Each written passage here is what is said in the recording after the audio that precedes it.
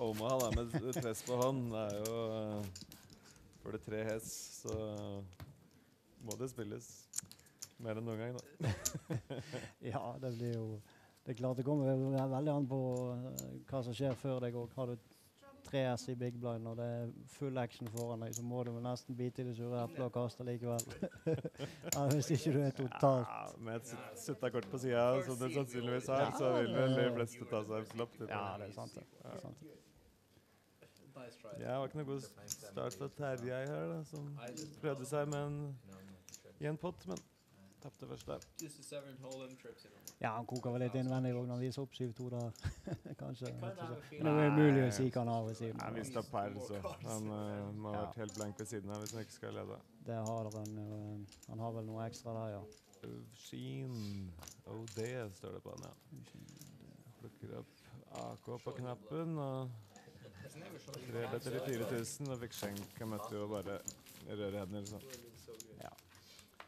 Den spilte seg sjæl. I, I actually think that for five years he's been saying it would be so good to show Terry a bluff or whatever, but he's never really done it. so that makes me think he's never really bluffed. It would have been a good timing. I think this is the most likely for him ever to bluff because now he's on TV because now then everybody would know he bluffed. So I think there's a good chance he will bluff me today or bluff someone at least. Terken fortsetter å snakke. Nå prøver han å sette et ganske tight image på vår eh, nye spiller der. Og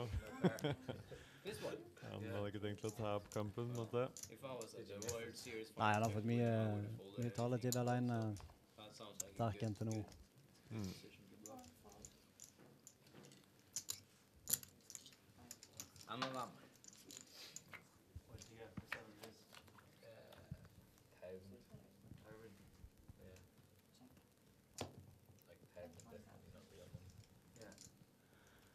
Oi, der har vi et dritflush-drag, faktisk, på Børge.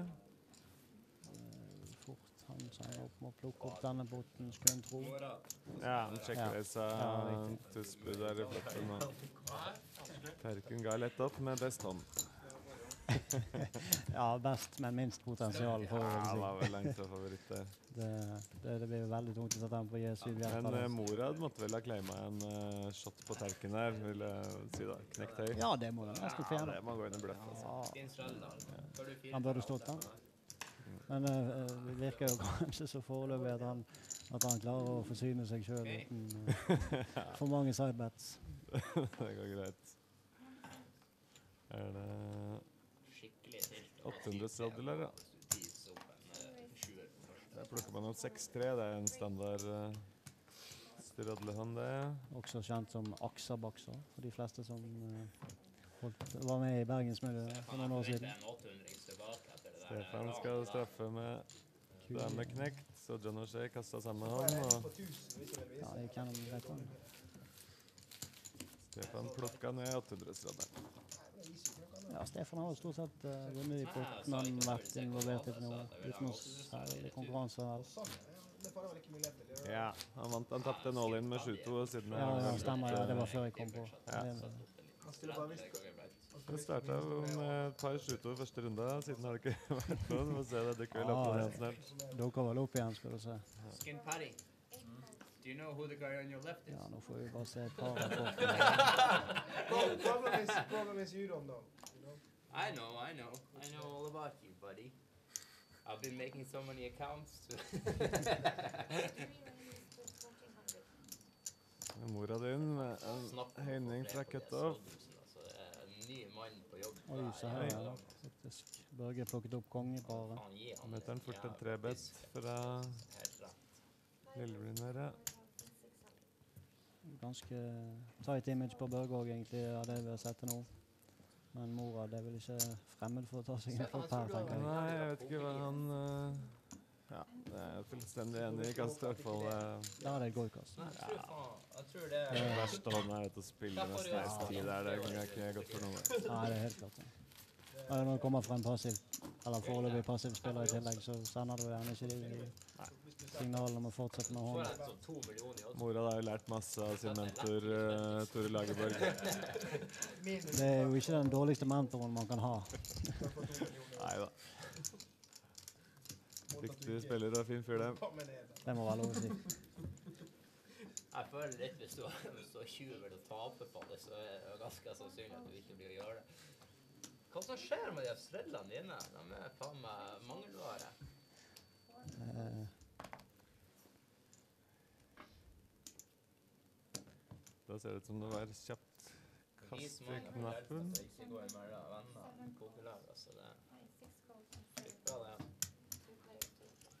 Børge syns 4-2 Altså, suited var en fin han å spille opp med. Han fikk syn fra begge blinde. Jeg plukker vel opp et flush. Nei, nå er noe feil på grafikken her i alle fall. Ja, ellers så tror jeg det kan kalles Ellers så mye stil. blir det vel uh, en del protester for de som er stuck i laget til nå. Ja, vi ser vel det på hvem som eh, byr her, hvem som Ja. virkelig har den 9-18. Men det ble et sjekk rundt, eller? Ja, der.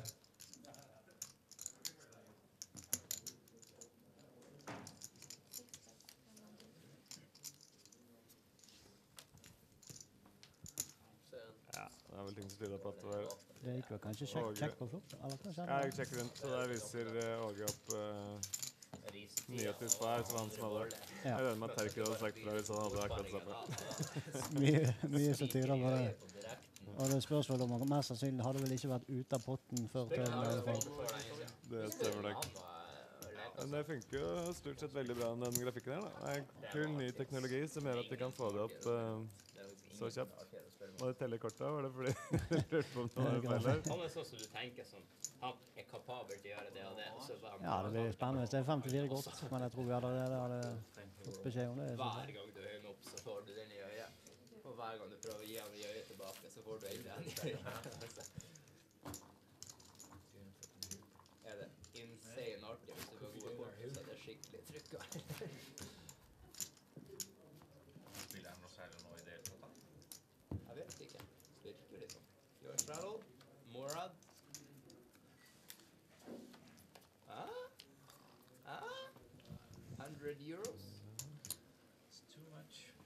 Fikk snakka inn en straddel på han nye der, da. Mora hadde ikke råd til 800, sa han. Men nå Det så jo ut som han involverte seg med Q4 Spar iallfall for 1400. Ta sånn du hakker. Det var jo et ganske greit felt å komme seg gjennom med tanke på da. Ja, han får til ledelsen når han kommer til flopp her, Ja, men uh, Det ser uh, veldig ut som han blir vel fast Ja, du vet jo aldri. Åge kan jo finne på. Jaggu. Akkurat som en bra flopp for uh, Q4 i Spar, men du fikk kanskje denne der. Stor favoritt når det ble kakk-kakk på floppene. S igjen på Daniel. ja.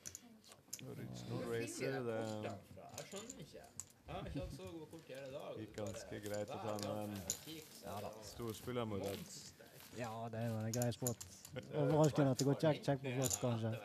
Ja, jeg vet ikke om han er på check race eller hva han planlegger der. Det er litt synd, at vi ikke får se det, men uh, plukka han jo greit ned på tørn i hvert fall. Du har vært i Dublin noen dager. Det er et veldig fint eh, sted her.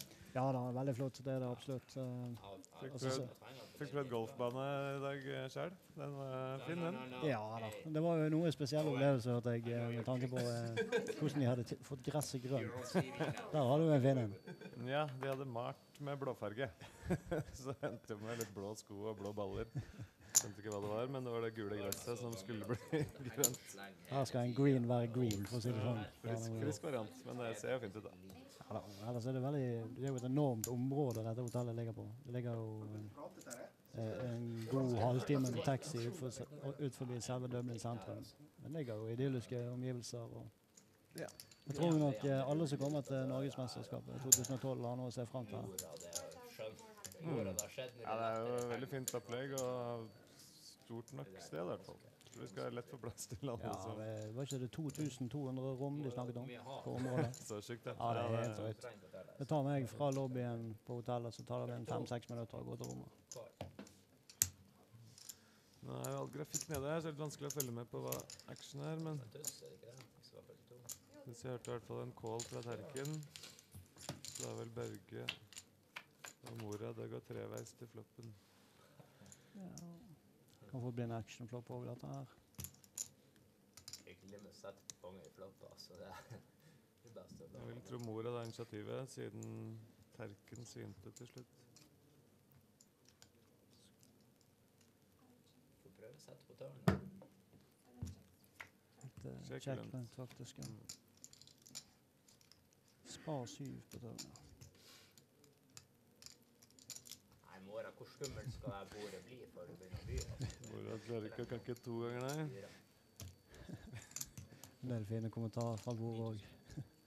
Hvor skummel skal den floppen bli før du begynner å by?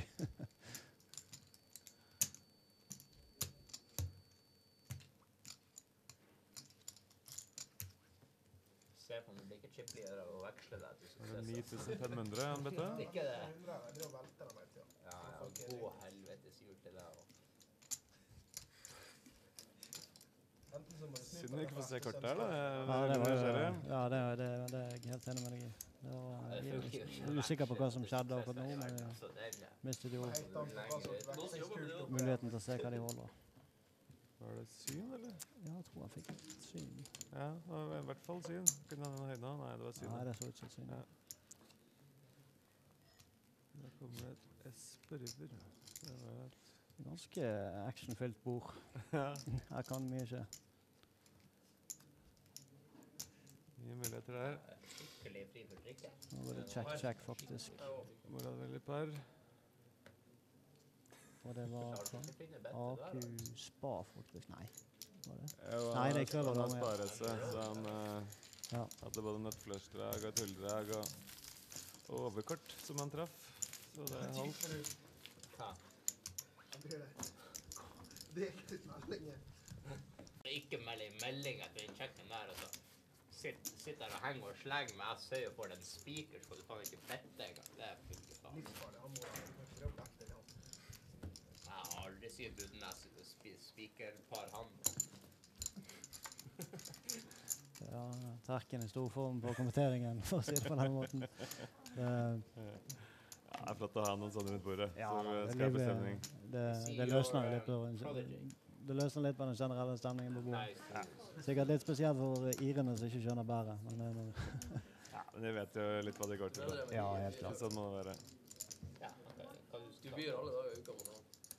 Åge under med konge dam off. blokker Eh, og Stefan da sitt sinn med 2-2. Mora hadde funnet syn med konge åtte der. Ja.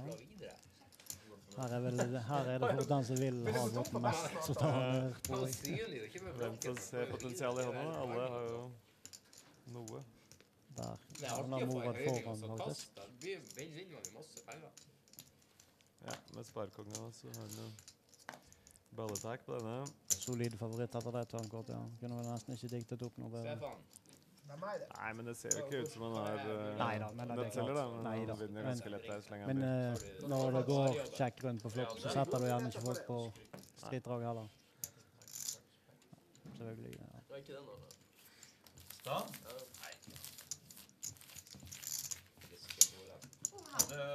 Nå er det om